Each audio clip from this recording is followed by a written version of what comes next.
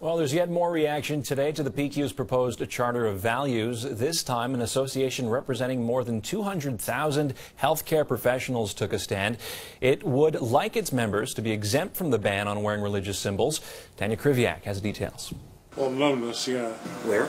yeah. In the feet. Dr. Ronald Schondorf is quite clear. If the Charter of Values comes in, he's out. But I certainly would leave the province even if he and other healthcare professionals were exempt from a ban prohibiting the wearing of religious symbols.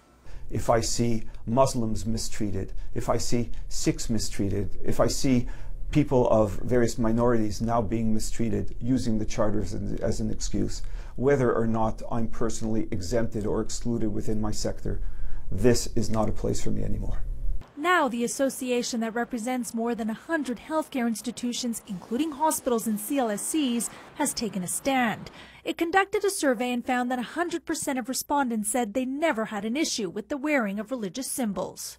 There is no problem absolutely no problem in all the institution. So they're asking that their members be exempt from the ban because they're concerned about its impact. We might lose uh, some people because they will prefer to go somewhere else. The government says it's another point of view. Those apocalyptic uh, uh, prediction, you know, are uh, should be should be taken with uh, with uh, uh, with relative with relativity. At the same time, the association says it does agree with the idea of establishing a set of rules that would help define how to deal with certain religious accommodations within the healthcare setting. But as far as Dr. Schondorf is concerned, he's still holding out hope that the charter just won't pass at all. Tanya Krywiak, CTV News.